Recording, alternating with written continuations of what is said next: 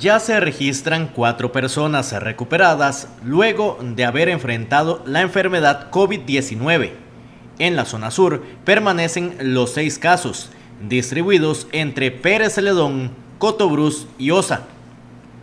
Al 30 de marzo se contabilizan 330 personas positivas con coronavirus, con un rango de edad entre un año y los 87. Se trata de 160 mujeres y 170 hombres, de los cuales 303 son costarricenses y 27 extranjeros. Se registran casos positivos en 52 cantones en las 7 provincias. Por edad, hay 293 adultos, 24 adultos mayores y 13 menores de edad.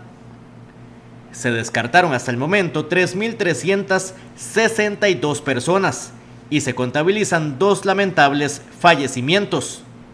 También se registran 15 personas positivas por COVID-19 hospitalizadas, 7 de ellas en cuidados intensivos.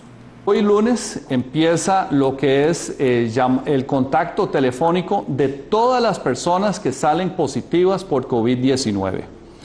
Se está partiendo en dos grupos. Las personas menores a 15 años están siendo llamadas por pediatras del Hospital Nacional de Niños y las personas mayores a esa edad están siendo contactadas desde el CENDEIS por los residentes de medicina familiar.